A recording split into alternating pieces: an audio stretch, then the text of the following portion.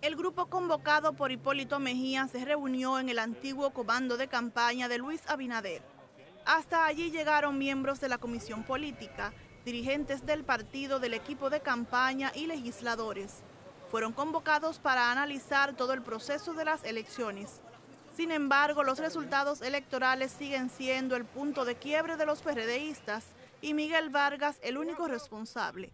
Pero no solamente Miguel Vargas, sino en la intimidad su intimidad, la gente que los rodea en términos muy íntimos, se veía claramente que estaban conspirando contra la, candidatura de Hipólito Mejía. Eso...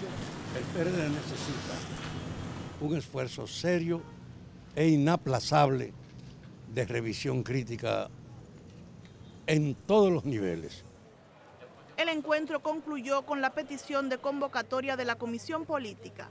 Según el secretario general y el presidente en funciones, el encuentro no fue con ese propósito. No, no, no. ¿A qué hora no, hay ninguna, no hay ninguna convocatoria. Se recibió un informe de las autoridades del comando de campaña sobre el desarrollo de las, del pasado proceso electoral y oportunamente cuando tengamos nuevas noticias la daremos por esta misma vez. No era una reunión de la Comisión Política. Senador, pero la por último, es que la reunión de la Comisión Política tiene una formalidad. esto no fue una reunión de la Comisión Política.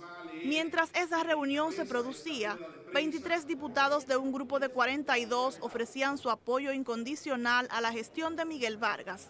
Dijeron que su liderazgo es un factor de cohesión interna, continuidad institucional y garantía de renovación hacemos un llamado a la militancia de nuestros gloriosos partidos revolucionarios a mantener la unidad institucional alrededor de nuestro presidente y líder, ingeniero Miguel Vargas Maldonado. Ante las amenazas que acechan y atentan contra la paz, la armonía de toda la familia PRDista. En tanto que en la Casa Nacional estaba una facción de la Juventud Revolucionaria que reclamó la expulsión del presidente. Demandan la aplicación de los estatutos. Exigimos la renuncia irreversible del ingeniero Miguel Vargas Maldonados y de sus más cercanos colaboradores por alta traición al Partido Revolucionario Dominicano como establece el artículo 51. Se espera que este viernes sea convocada la comisión política del PRD para evaluar todo el proceso y tomar acciones.